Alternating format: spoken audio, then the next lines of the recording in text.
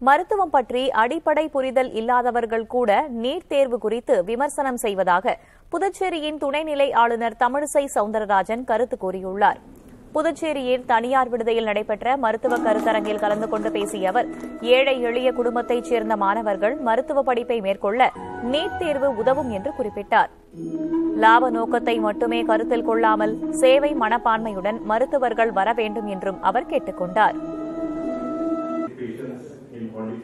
நல்ல மருத்துவர்கள் வர வேண்டும் என்னதான் நாங்களெல்லாம் மருத்துவம் படித்து அதன் மூலம் அனுபவம் பெற்று சிறந்த மருத்துவர்கள் இந்த உலகிற்கு வர வேண்டும் என்று பொதுத்துறையில் சொல்லும் பொழுது ஆனால் அதை பற்றி கொஞ்சம் கூட தெரியாமல் மருத்துவத்தை பற்றி அடிப்படை உணர்வே இல்லாதவர்கள் கூட எங்களை விமர்சனம் செய்வதுதான் ஆச்சரியமான ஒன்றாக இருந்து கொண்டிருக்கிறது.